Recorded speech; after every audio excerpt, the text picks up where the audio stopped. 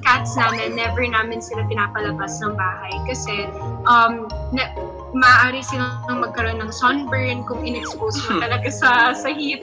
At totoo yun, nagkaka-sunburn sila. Basta maselan kasi talaga. Oo. Medyo aloof sila. Medyo um, may pagkasungit. Minsan, di ba, may pagka-moody or ayaw nila na parang nilalambing sila. Katulad Yung- niyan, kanina, Yeah.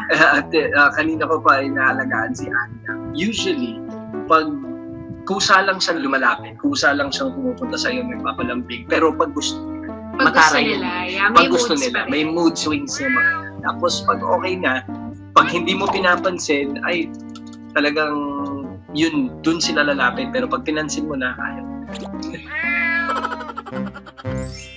Feeling ko kaya siya moody kasi may pagkatampuhin din siya. Kasi before, nung nag-vacation kami, kami ng matagal, pag uwi namin, hindi talaga kami pinapansin. Si Storm, na Sphinx din, pero color black naman siya.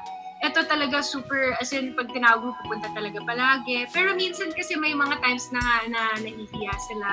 But people really love them kasi yung first impression nila is yun nga, mataray, pero napakalambing talaga nila. They love people so much. Super. Yeah. Yung fondest memory ko kay Anya is when we first got her. Kasi nung time na yon nagsushoot pa ako for Exo Benefits. So, dinala niya sa set namin sa Exo Benefits sa tent. And nagsha-share kami ni Derek na ng tent. nung nakita niya si Anya, sobra siyang nag-freak out. Run. Umakit siya sa upuan, sa lamesa. Ang laki-laking tao ni Derek Ramsey, bigyan nyo lang ng Sphinx Cats. Take note.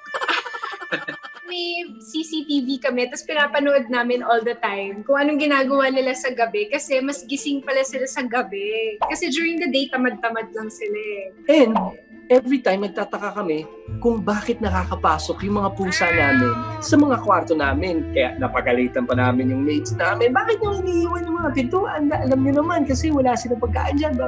Because minsan nakakatakas sila outside, Oo. baka makagat pa ng dog. Malay namin, di ba? So, pero tapos sabi ko, Tapos din may time din na yung ano yung kasambahay namin natatakot. Tapos baka ano, halos maiyak na. oh, tapos lumapit sila sa amin. Tapos hindi nila alam kung paano nila sasabihin. Ma, may, may multo po sa ate, may multo po, bumubukas mag-isa mga pintuan.